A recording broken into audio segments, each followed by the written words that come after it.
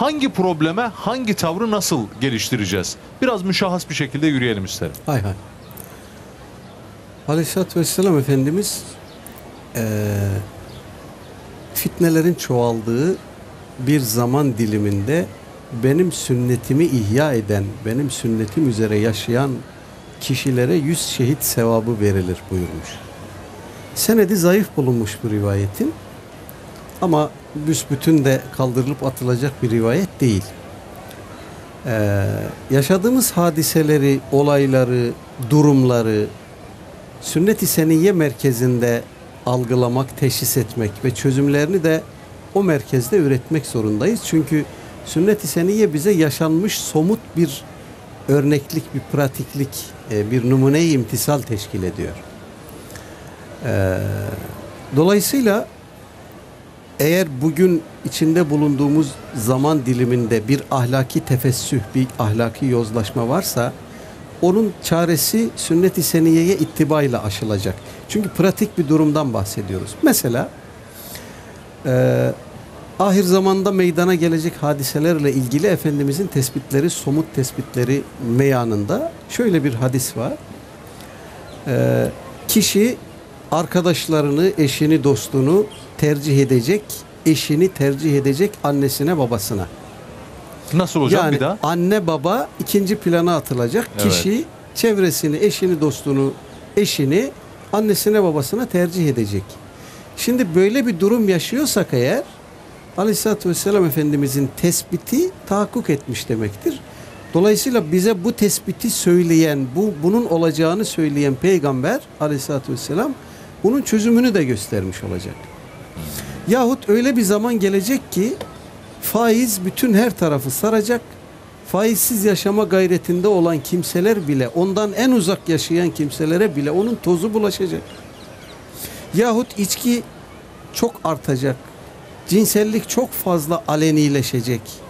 Şimdi bunlar hep Aleyhisselatü Vesselam Efendimizin ahir zamana ilişkin ihbarları, haberleri, tespitleri. E bunun, e, çözümü nedir, çaresi nedir?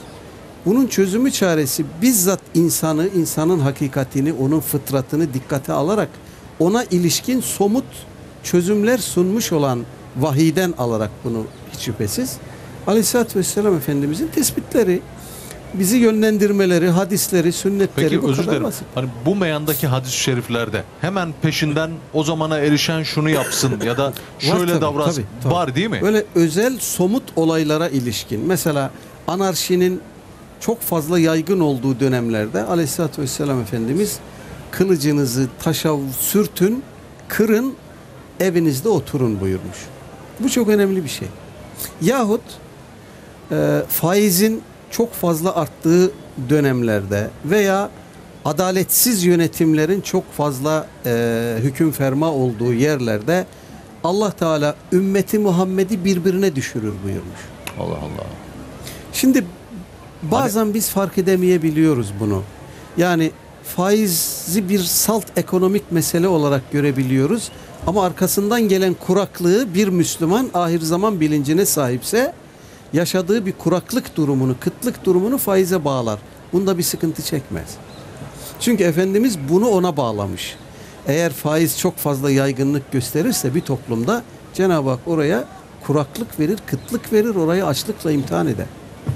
Yahut e, cinsellik çok fazla arttığında, alenileştiğinde fuhuş, biz bunun adını böyle koyalım, fuhuş diyelim, ahlaksızlık diyelim. Çok fazla alenilik kazandığında o toplumda daha evvelkilerde görülmemiş bir kısım hastalıklar ortaya çıkar buyurmuş Efendimiz. Çok önemli şeyler bunlar. Dolayısıyla e, tek tek toplum olarak, ümmet olarak şikayetçi olduğumuz ne varsa onları masanın üstüne koyup bir kağıda yazıp çetelesini tutup karşısına Aleyhisselatü Vesselam Efendimizin yönlendirmelerini, ikazlarını koyarsak ümmeti Muhammed bu yaşadığı durumun adını, teşhisini koymakta e, zorlanmayacak.